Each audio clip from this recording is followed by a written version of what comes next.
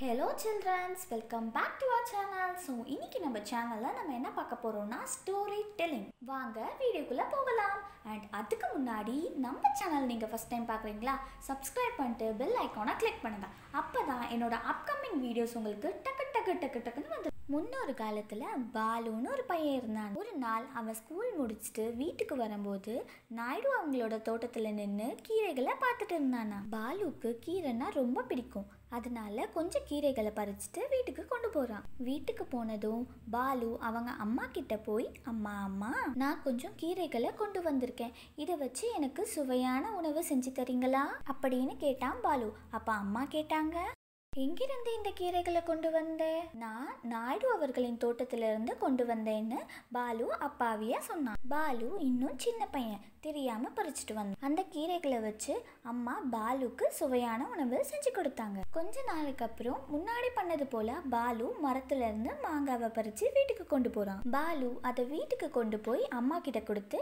அம்மா இதுல எனக்கு மாங்காய் பருப்பு செஞ்சு தாங்கன்னு கேக்குறான். இதுக்கு போலவே இப்போவும் அம்மா பாலுவை திட்டவே இல்லை. பாலு குறும்பா ஆயிட்டான்னு நினைச்சு அம்மா பாலுக்கு சுவையான உணவு செஞ்சு கொடுத்தாங்க. அவன் அதை சந்தோஷமா சாப்பிட்டான். முன்னாடி பண்ணது போல பாலு தோட்டத்துல பறிக்கும்போது தோட்டக்காரன் கிட்ட மாட்டிக்கிட்டான். தோட்டக்காரன் பாலுவை கையும் களவுமா பிடிச்சாரு. அவனை அவன் வீட்டுக்கு கூட்டிட்டு போயிட்டு அவங்க அம்மா கிட்ட பாலுவோட திருட்டை பத்தி சொன்னாரு. பாலு அம்மாக்கு கோபம் வந்து அவன் அப்படிலாம் பண்ண மாட்டான். வேற யாரோ பண்ணதுக்கு இவன் மேல பழிய போடாதீங்க அப்படின்னு சொல்லி பாலுவோட அம்மா தோட்டக்காரரை திட்டிட்டாங்க அவன் அம்மா அவனை திட்டாததால பாலுவோட தப்ப அவனால உணர முடியல.